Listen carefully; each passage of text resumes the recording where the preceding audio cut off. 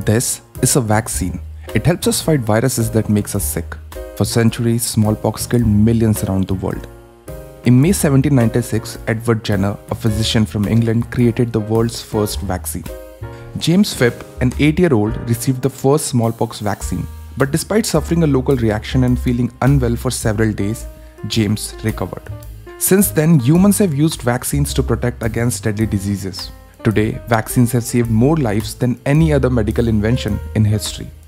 In December last year, the government of India announced that it will roll out the HPV vaccine or human papillomavirus vaccine for girls aged between 9 and 14 years.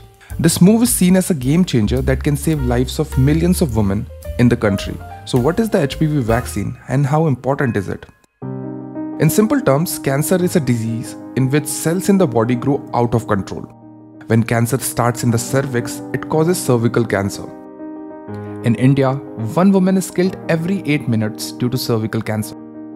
Globally, cervical cancer is the second most common cancer type, and India accounts for one fifth of the global cases.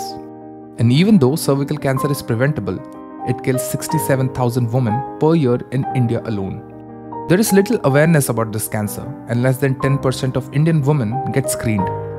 Even though two vaccines are available in India since 2018, they were priced between 2000 and 3500, making them out of reach for several people.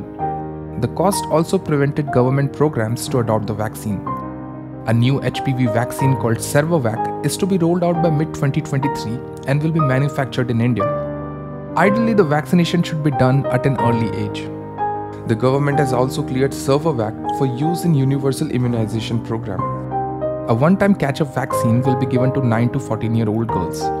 State and union territories will organize HPV vaccination in schools and identify a nodal person in each school to look after the vaccination. For girls who do not attend schools, the vaccines will be given through community outreach and mobile health teams. Once the vaccine is launched through the Universal Immunization Program, it should reach the maximum number of the targeted population.